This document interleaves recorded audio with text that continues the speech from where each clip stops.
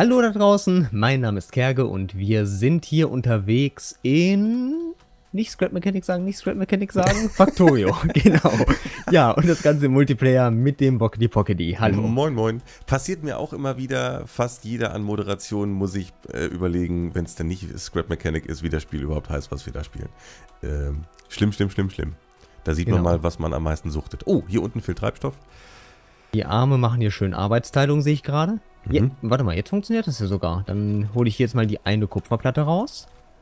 Und hier jetzt mal die Kohle raus. Dann schmeiße ich hier die Kupferplatte rein. Und hier die Kohle rein. So.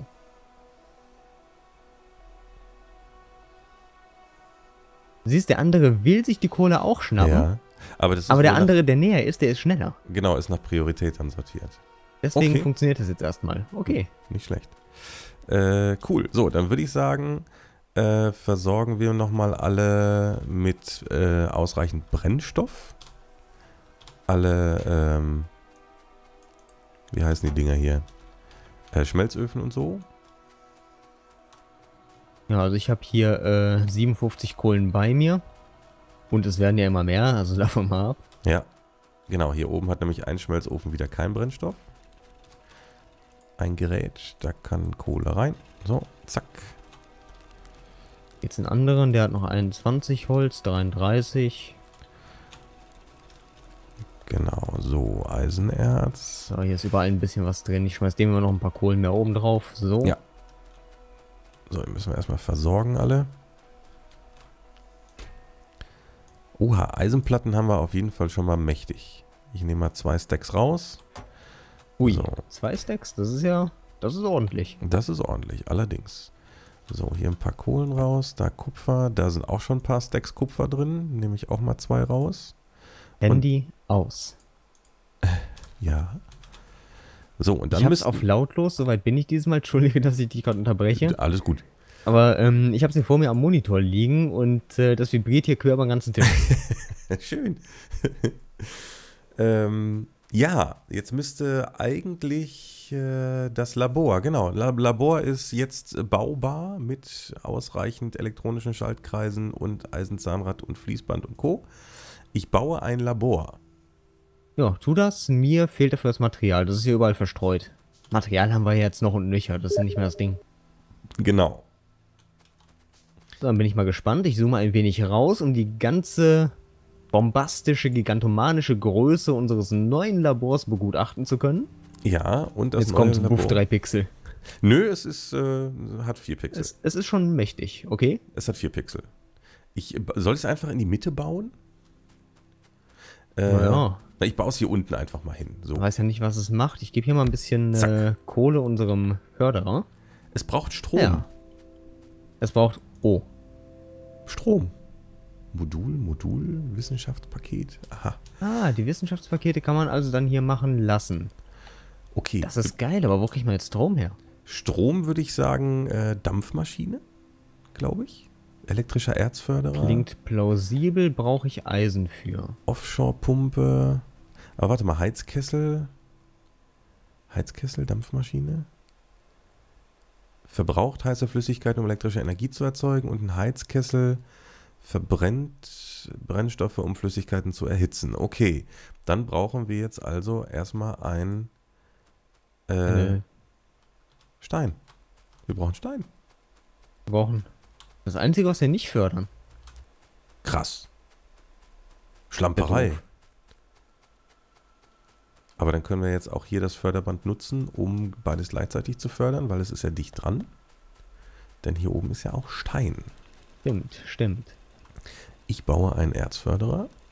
Das hat mich auch vorhin in der ersten Folge so ein bisschen verwirrt, muss ich gestehen. Warum? Ich hatte eigentlich gedacht, äh, warum laufen wir jetzt in den Wald? Wir wissen doch, dass hier unten überall Material ist. Aber wir hatten ja, ja die Map gewechselt nach dem ersten Anspielen. ja, Und die stimmt. hier sieht ja anders aus. Genau, das stimmt. Apropos, ich kann ja mal gerade nicht auf die Karte äh, gucken. Oh, die ist aber sehr verpixelt beim draufzoomen. Äh, mhm. Ah ja, okay. Huch. So. Wie groß ist so eine Map eigentlich? Ist die, wird die prozedural generiert? Die wird generiert, man kann äh, eine Größe angeben oder einfach auf unendlich lassen, dann hat sie eine Maximalgröße, glaube ich. Okay. Wie groß das äh, allerdings ist, weiß ich nicht. Okay, das hier ist Kupfer, das hier wird Eisen sein. Stein. So. Einschmelzen. Ich glaube, das nächste Steinvorkommen ist ziemlich weit weg. Und hier unten sind Sachen, die ich nicht zuordnen kann. Da kann man eigentlich mal gucken irgendwann mal. Also. Okay, was würdest du denn davon halten? Der Einfachheit halber könnten wir ja hier eine der Produktionen abreißen und versetzen. Nö, ich baue einfach eben eine neue.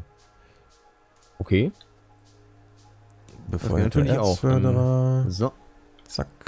Mal gerade so ein bisschen Kohle hin. Wir brauchen eigentlich Fließbänder wieder zurück. Und aus dann? der Kohlenstelle die dann per Arm die äh, Fördermaschinen und so weiter alle wieder äh, vollstopfen. Könnte man äh, theoretisch und auch praktisch machen und ich glaube, das ist auch äh, sinnvoll, ne? Auf Dauer ich denke, gesehen. Das wird zumindest sinnvoll werden, wenn das hier alles größer wird. Ja, da gehe ich von aus. Ah, da kann ich sogar auch noch was beitragen. Juhu, ich bin wichtig. So. Machen wir gerade so eine kleine Sichtschneise. Na komm. So. Zack. So. Du bekommst jetzt Brennstoff. Bitteschön. Okay, der schmeißt jetzt seinen Stein einfach hier drauf. Man könnte ja auch, wenn ich mal so drüber nachdenke. Man könnte auch. Das ist halt so Rohstein, das sind ja noch gar keine Ziegel, während der Rest hier schon verhütet wird. Ja. Man könnte die ganzen Anlagerien hier, hier runterlaufen lassen. Also alles in Roh jetzt. Roh Rohstein, Roh. Ja. Kohle ist Blödsinn, aber du weißt, was ich meine. Ja. Ähm, und unten in einen äh, Hochofen reinstopfen. Ja. Das würde die Prozesse verzögern, weil der Ofen dann immer gerade das verhüten muss, was er, was er gerade bekommt und nicht alles gleichzeitig kann und so weiter und so fort. Mhm. Aber jetzt allein vom Gedanken her könnte man das damit zusammenfügen, je nachdem, äh, wo man gerade ist und was man macht. Das kann man tun. Ähm. Ist nur noch so eingefallen, weil hier jetzt der Rohstein halt runterläuft und keine fertigen Ziegel. Was ist das? Ach, du hast hier unten schon was gebaut. Okay. Was? Wie? Wo? Habe ich? Ja, die, die, äh, die Dampfmaschine. Ach so, ja. Die hatte ich gebaut und äh, dann hat es mich irgendwie dringend interessiert, was die eigentlich macht. Genau. Ich dann, kann sie aber nicht anklicken. Das ja, dann machen wir hier einen Heizkessel neben, weil den brauchen wir ja. Und dieser Heizkessel der braucht Sprit. Der braucht Sprit und jetzt dabei. müssen wir du? Rohre bauen. So. Rohre. Ja, ah, Rohre könnte ich sogar bauen. Und ich gut. denke auch eine Offshore-Pumpe brauchen wir. So, denn die Offshore-Pumpe braucht Wasser. Frage ist, wie müssen wir sie bauen? Also der Heizkessel ist bereit. Die Dampfmaschine dagegen? Noch nicht. Da ist die Pumpe. Jetzt kommen die Rohre. Ui. Das ist ja mal ein Vieh. Das ist mal eine Pumpe. So. Ah, unterirdisches Rohr. Okay, so können wir jetzt also hier unter unserer Förderanlage durch quasi. Unterirdisches Rohr? Das geht? Ich habe davon jetzt mal zwei gebaut direkt. Oha, dafür muss ich zehn normale... Oha, warum das denn? Was? Der frisst mir ja gerade meine ganzen Ressourcen auf für die zwei unterirdischen Stücken. Ja, deswegen... Äh Dann würde ich sagen, baue ich hier einmal runter und hier wieder hoch. Genau. Der hat aber auch direkt doppelt gemacht, das Ganze. Ich hätte nur einmal klicken brauchen. So, kommt das jetzt hier in den Dings rein oder Zack. in den... In die Pumpe. So, okay, die Leertaste macht Sachen, aber irgendwie nicht das, was wir brauchen. Also hier kann man, über die Rohre kann man anscheinend nicht drüber laufen. Kann das also heißt, wir nicht? müssen so oder kann so ab und an mal irgendwie eine äh, Schneise bauen, wo man durchlaufen kann. Okay, gut. Jetzt haben wir. Ich würde mal sagen, daran soll es nicht scheitern. So, also, Frage ist, warum kriegt das hier keinen Strom? Ich gucke mir mal die Beschreibung an erst drauf losbauen, dann die Beschreibung lesen. Das sind die richtigen. Ach so, wir müssen Er Strom braucht was. heiße Flüssigkeiten um elektrische Energie. Genau. Ja, er bekommt Flüssigkeit und er hat Treibstoff. Also eigentlich. Genau. Und die Dampfmaschine äh, macht jetzt Energie. Das heißt, wir brauchen Strommasten. Und Strommasten machen wir aus Holz. We need Holz. Strommasten. Äh, Holz habe ich noch. Ja, dann mach mal Strommasten. Wie mache ich Strommasten? Indem ich Kupfer wenn du genug habe. Holz, Kupfer ist hier. Wenn du genug Holz hast, kannst du gleich äh, loslegen. Genau. Nehme ich mir einfach so einen dezenten Stack. Ist ja nicht so, dass wir Engpässe hätten oder sowas. Richtig. So, Strommast. Einmal gebaut, nochmal gebaut. Ach, das, das sind jeweils zwei direkt dann auch. Okay, dann baue ich mal einen Strommast, sagen wir mal, hier so hin. Der ist in der Reichweite von dem allen hier. Und den zweiten kann ich bis auf diese Entfernung hier bringen. Und dann kann ich von hier aus noch einbauen, der hier unser Labor versorgt. Hey, das geht ja ganz wundergrandios hier. Cool. Ich brauche den vierten Mal hierhin, einfach um loszuwerden. So. So, soweit so schön. Was ist jetzt hier das Problem? Der hat da seinen, äh, seinen Anknüpfpunkt. Der hat keinen Strom. Eine Ahnung. Es könnte sein... Vielleicht nicht genug. Es könnte sein, dass wir ein Rohrstück noch brauchen vom äh, Heizkessel zum, zur Dampfmaschine. Da fehlt nö. irgendwie was. Nicht? Nö, nö, nö. Die ist ja intakt. Die Dampfmaschine ist ja jetzt hier... Äh... Für was hast du die jetzt eigentlich gebaut? Die Dampfmaschine? Ja, um, um, um, heiße Luft zu machen. Verbraucht heiße Flüssigkeit, um äh, Energie zu zeugen. Du hast jetzt einen Heizkessel gebaut. Verbrennt Brennstoffe, um Flüssigkeiten zu erhitzen. So, hier, so hätte ich gedacht. Eigentlich. Nicht? Hä? Hier, irgendwas stimmt doch hier nicht. Das ist hier, das kleine Teil ist jetzt die, der Heizkessel. Verbrennt Brennstoffe, um Flüssigkeiten zu erhitzen. Und der verbraucht heiße Flüssigkeiten, um elektrische Energie zu erzeugen. Ja, genau. Das heißt, eigentlich hätten wir doch hier die heiße Flüssigkeit, die hier reinläuft und alles wäre gut, oder nicht? Ja, genau. Eine Ausrichtung hat das Ding hier auch nicht. Nee. Wenn ich jetzt hier nehme und bauen will, dann kann ich ihn zwar rotieren, aber das macht irgendwie keinen Unterschied. Hm.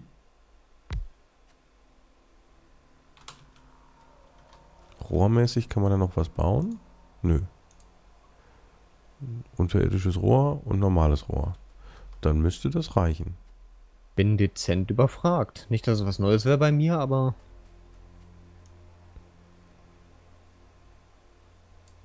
Ah, Moment. Wenn du drauf gehst mit dem Cursor, dann ist neben dem gelben Rahmen noch so ein blaues Eckchen. Ja, das ist vom äh, Dings, vom zugehörigen äh, Strompeller.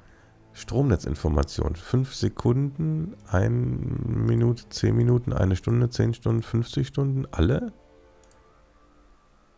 Was heißt das? Ich versuche gerade zu äh, finden, wo das war. Da habe ich auch schon drauf geguckt, aber ich habe auch keine Ahnung, ehrlich gesagt. Ah, hier, Produktion. Da. Nee, das meinst du nicht. Wenn du mit dem Mauszeiger, also wenn du dran stehst an dem Gebäude, wenn du mit dem Mauszeiger drauf gehst auf die äh, große Dampfmaschine, dann hast du ja diese gelben Vierecken. Und ja. An, an, der unteren rechten Ecke ist so ein blaues Viereck. Genau. Das genau. ist der Strommast. Ach, das ist der Strommast. Nee, ich brauchte als Flüssigkeiten um. Ja doch, den habe ich doch dahin ge. Hier. Ja, nee, nee. Alle. So. Aber der, der Strommast gehört mit zu dem. Ach so. Ja, warum kann ich denn mit der großen Maschine nichts anfangen? Hä? Oder braucht vielleicht, ich stelle das jetzt einfach mal spaßenshalber um. Ich will jetzt mal gerade experimentieren. Also, Angenommen, ich habe hier die Maschine. Angenommen, ich habe... Die hat schon mal hier eine Verbindung zu dem Rohr hingebaut. Also die hat schon eine Verbindung. Ja. Okay, dann baue ich hier die Verbindung wieder zurück. Entschuldigung. So. Jetzt die aber nicht mehr in Verbindung zu einem Strommaß. Dann baue ich den Strommast jetzt mal hier hin. Und unser Labor meckert nicht mehr. Okay, und für was haben wir dann hier das, das kleine Teil gebaut? Ich habe keine Ahnung, ehrlich gesagt. Okay. Jetzt auch gedacht, wenn die Dampfmaschine heiße, äh, die verbraucht heiße Flüssigkeiten steht, da steht ja nicht, dass die die äh, Flüssigkeiten macht. Ja, aber, ach so. Deswegen hätte ich eigentlich gedacht, dass man den Heizkessel braucht, um die Flüssigkeit, jetzt steht's. Jetzt steht's. Dann brauchen wir den Heizkessel also doch. Der muss wohl einfach irgendwo im System hängen, um das Wasser heiß zu machen, damit die Maschine arbeitet, oder wie ist das? Verstehe ich nicht. Okay. Dann machen wir den Heizkessel hier rein. einfach irgendwie dran. Das müsste ja dann eigentlich... Warte, ich baue äh, hier zwischen. Also so mitten rein. Ja. Genau, jetzt ist hier linker Seite kein Wasser mehr. Wupp. Jetzt ist wieder Wasser. Er sagt jetzt, dass er Sprit braucht. Sprit haben wir noch. Macht da die Maschine. Hey, der hat doch kurz gearbeitet. Mensch. Aber dem Labor geht's an und für sich eigentlich ganz gut. Wahrscheinlich ich ist jetzt einfach Energie mal da. Wissenschaftspaket. Nee, wenn ich da rumklicke, dann passiert gar nichts. Muss ich irgendwas reinlegen? Nee, ne? Ja, ist auch nee. Schluss. Pumpe? Pumpe macht alles. Nö, nee, aber ist gut. So, jetzt läuft's. Meckert nicht nix was. Okay. Ja. Wissenschaftspaket 1 für Forschung benötigt. Modul. Da müssen wir jetzt Wissenschaftspakete bauen. Wo machen wir die? Eins. Ich dachte, wir könnten die hier bauen lassen, automatisiert. Nee, die macht man, äh, hier. Ich hab schon. Davon kann ich 27. Ich hab schon, genau. Und Paket 2 kann ich auch ein paar.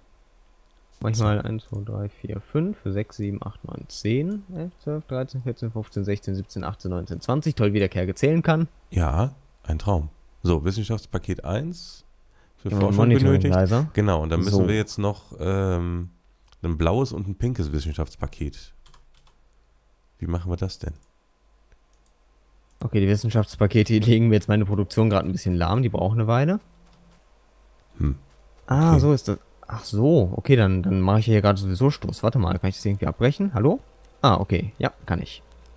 Schön mit äh, Rechtsklick, so. Okay, das nenne ich jetzt einfach mal Schadensbegrenzung. Elektronische Schaltkreis bei Pro. Grüne könnte ich machen, ganze äh, sieben Stück. Ach so, warte mal, jetzt können wir doch hier... Ähm ich würde sagen, ich habe 20 von den roten, damit kann ich jetzt anfangen zu forschen. Die Frage ist, was? Genau. Ja, okay, Automatisierung verfügbar. Schlüsseltechnologie für automatisierte Paletten. Okay. Das äh, sieht aus, als könnte Produktion. es Sinn machen. Genau, das ist das eine. Dann. Ah, hier, ermöglicht. Langer Greifarm, Montagemaschine, die auch dienstags arbeitet. Also Logistik ist auf jeden Fall mit den Greifarmen, ne? Stapelgreifarme können abhängig von ihrer Aufwertung mehr Gegenstände gleichzeitig transportieren. Einige der dazugehörigen Forschungen erhöhen auch die Kapazität der normalen Greifarme. Logistik ermöglicht unterirdisches Fließband. Das ist gut. Ja. Logistik kann man erforschen und Automatisierung ist dann Elektrotechnik, Schlüsseltechnologie für Automatisierte, gibt es Motoren, Eisenbahn, Elektromotor, fortgeschrittene Elektronik, Stapel, Greifarm und Co. Okay, dann sollten wir jeder was Unterschiedliches bauen, äh, äh erforschen, damit es schneller geht. Das Würde heißt, ich sagen, ja. du machst Logistik und ich mache Automatisierung oder was? Ähm, okay, dann machen wir es so. Ja. ja. Klingt logisch. Da brauche ich 20 von den roten Dingern. Dann sage ich jetzt einfach mal, genau, hier kann ich nicht. Hier kann ich jetzt auf Forsche klicken. Und das... Ah, es, es arbeitet. Es bewegt sich was. Ja, ja, ja, ja, ja, sehe ich auch. Ja, schön. Forschungslabor, cool. Braucht aber ein Weilchen. Guck dir mal das Labor an. Sieht cool aus. Oh, der hat gerade irgendwie... Das Labor versucht gerade Logistik zu erschaffen? Ist das nur die Anzeige von mir? Ich habe keine Ahnung. Ich lasse es einfach mal machen. Wenn der Balken durchgelaufen also ist, hier oben steht jetzt ist. bei mir auch Logistik. Okay. Ja, dann erforschen wir das eventuell äh, übergreifend. Das wäre auch nicht schlecht. Das wäre super. Und um das erforschen zu können, braucht man dafür das Labor? Ach, jetzt hat er die äh, roten Pfiffis verbraucht. Ach, jetzt verstehe ich dass Das ah, wir hatten in der Gesamtheit in genug rote, um hier... Ach, jetzt verstehe ich dass Das musste dann da reinpacken. Ach so. Also du musst erstmal deine, deine Wissenschaftspakete da reinschmeißen, um die Sachen erforschen zu können. Jetzt verstehe ich das. Okay. Dann machen wir mal hier so ein paar äh, Wissenschaftspakete. Aber wenn der jetzt hier... Oh, warte mal, warte mal, warte mal, warte mal. Das hier ist schnelle und flexiblere Wege. Das ist ja rot hinterlegt, was der hier gerade erforscht. Was denn? Wie denn? Ja, hier im Labor das Ding. Da rechts. Ja. Wenn ich bei mir auf T drücke, dann sehe ich bei mir, dass es grün ist, was ich jetzt äh, bei mir oben rechts im Bild erforsche, dieser grüne Balken, der da lang läuft. Ja. Und hier drunter, das Ding ist auch rot. Schnellere und flexiblere, okay, die Beschreibung ist die gleiche, das sagt nichts, das ist schade. Hier ist aber keine 2 dran. Der erforscht jetzt aber nicht dasselbe, was ich da oben gerade, oder? Ich glaube, äh... Warte mal, 2, 3... 3, 2. Was macht er denn jetzt? Hilfe. Wir warten es einfach mal ab. Ich wollte gerade sagen, warte einfach mal ab, bis da oben der Balken fertig ist. Ich fütter derweil noch ein bisschen. So. Ein paar Fifis da rein, ein paar rote. Apropos füttern, jetzt wo du sagst, hier kommen gar keine Kohlen mehr an. Ich nehme gerade so einen Stack mit und laufe zur Kohleförderung. Ja. Sondern einen zweiten Stack mit sicherheitshalber. So. Dann schauen wir mal, ob da alles noch in Ordnung ist oder ob da schon was ausgefallen ist. Jo, die Förderungsmaschine hat keinen Sprit mehr. So. Aha. Ja, wer Kohle scheffeln will, muss Kohle investieren. Eine Weisheit des Lebens. So sieht das aus. Dann gucke ich auch mal hier oben, weil Eisen kommt auch nicht mehr an. Hier ist auch totaler Stillstand alles ist still, keine Steine mehr, kein nichts was, dann gibt es mal erstmal hier Kohle auf die Mütze. Gefeuerter Erzförderer. Dem geht langsam auch so ein bisschen der Saft aus. Ich gebe dir mal noch was. Schaut das hier aus? Hier haben wir gerade mal noch zweimal Rohholz. Das tausche ich mal aus durch Kohle. Mhm. Und das restliche Rohholz schmeiße ich hier beim Greifarm rein. Meine Güte. Jo. So.